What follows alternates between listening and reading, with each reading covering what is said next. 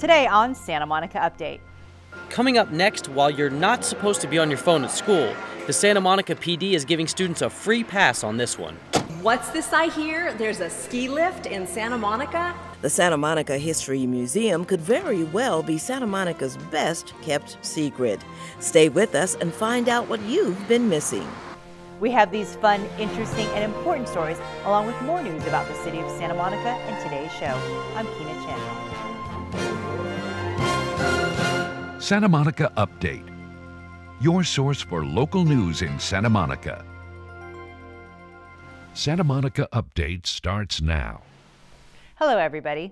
Seismic retrofitting is one of those things many building owners just simply have to do.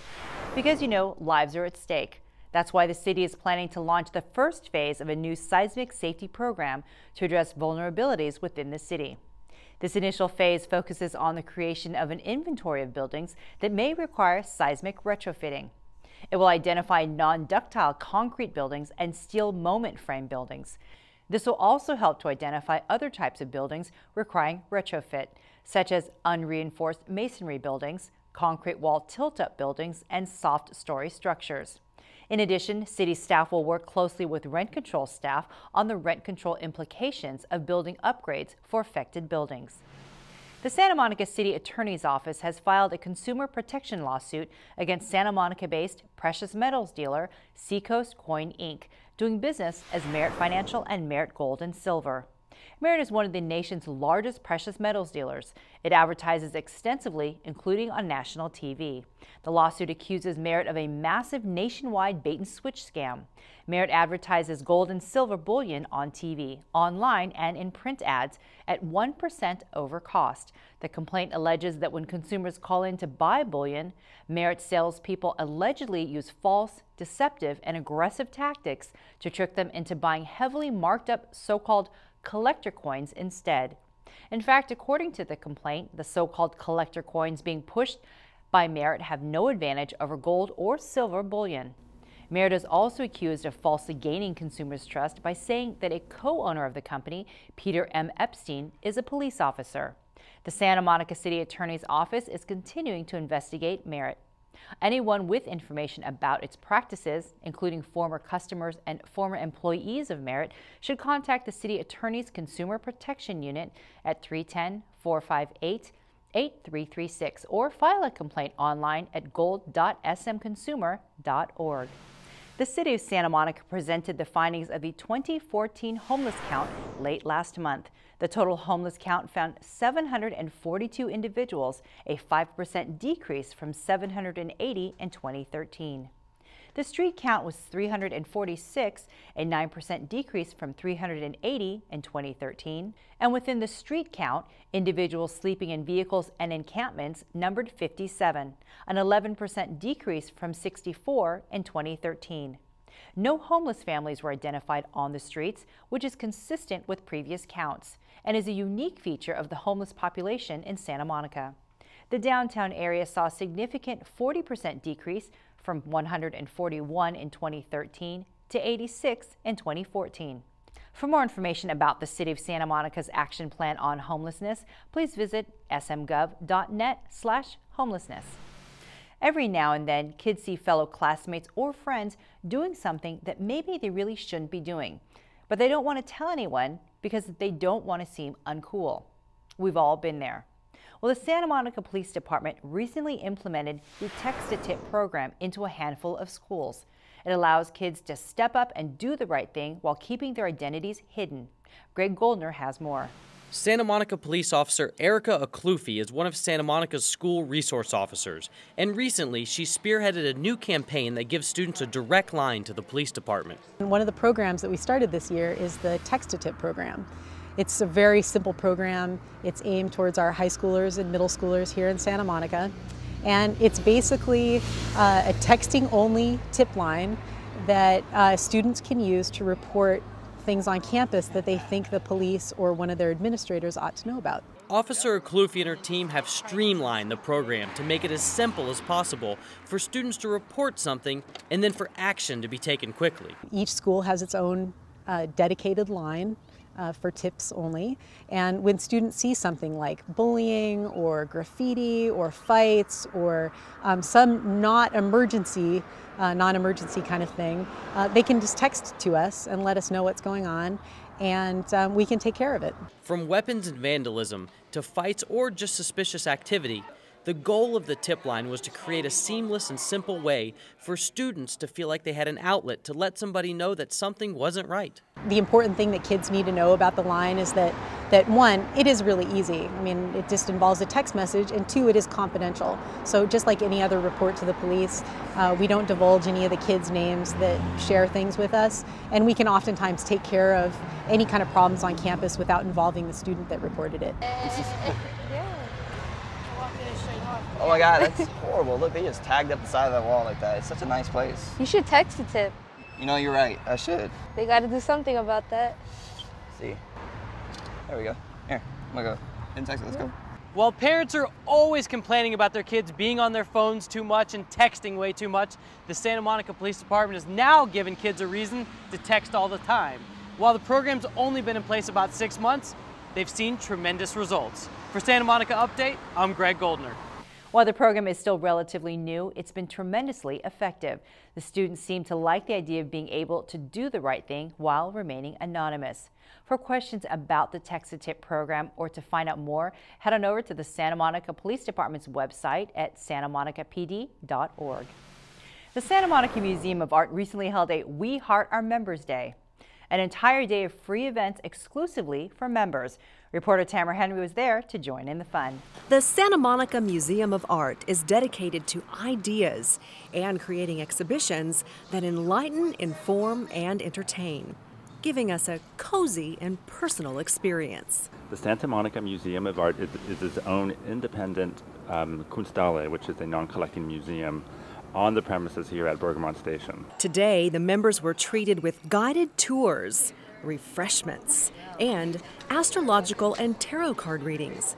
The museum always has free parking. And what could be even better than that?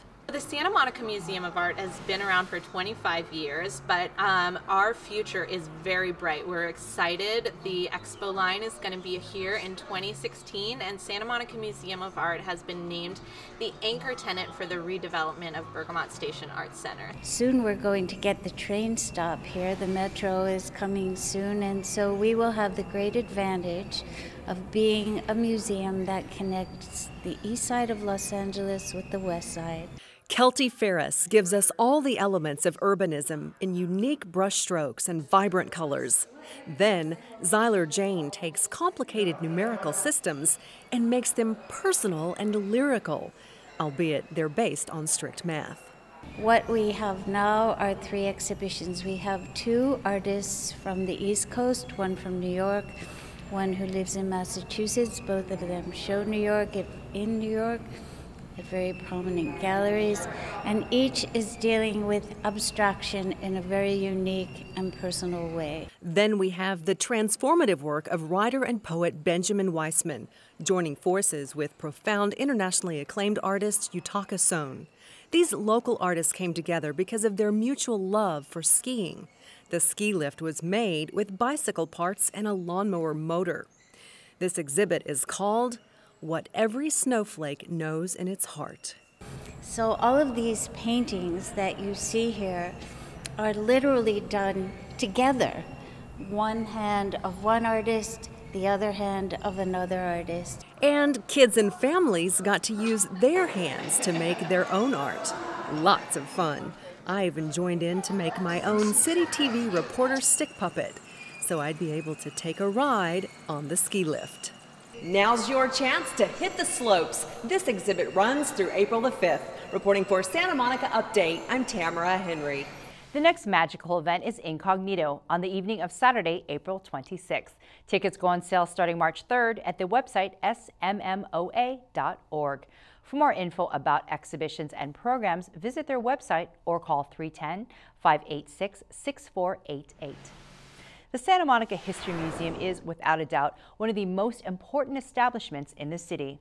It proudly exhibits Santa Monica's celebrated history, It's a place of learning, and according to reporter Gail Choice, it's also very entertaining. When people come to the museum, they come to discover and learn about the history of this beautiful city, how it all began, how it developed, and what it is now. Founded in 1975, the museum is a nonprofit organization whose mission is to collect, preserve, and make accessible the rich history of Santa Monica. We're in our changing exhibit room, and our current exhibit is the uh, Life at the Miramar. This profiles uh, the original mansion, the Miramar, that was built by uh, city co-founder John Percival Jones and it is right at Ocean Avenue and Wilshire Boulevard. Santa Monica's rich history is displayed in such a manner that with each exhibit, you want to step back in time. We deal with Santa Monica in the arts, uh, Santa Monica in the news, Santa Monica at work, and Santa Monica at, at play. And we have interactives in these different rooms. Here we have something that's called Then and Now. Be it fashion. This is a lovely gown of the time of the time period. You can see how it is really a silk gown with a with incredible hand done lace on it, which is uh, we don't see now nowadays. But anyway, they'll be able to see here at the museum. Uh, we have quite a number of lovely textiles. Cutting edge technology. We have a tremendous collection of Douglas uh, items, uh, photographs. Um, many former Douglas workers have donated uh, mm. to us. So, and it really runs the gamut from, from ball bearings and, and riveter guns to jewelry. Remember the Outlook newspaper? It's found a permanent home at the museum. This is Santa Monica in the news, and we received the Outlook newspaper archive when they closed operations in 1998. There's so much to see, learn, and do at the Santa Monica History Museum, keeping the city's history alive. Gail Choice, Santa Monica Update.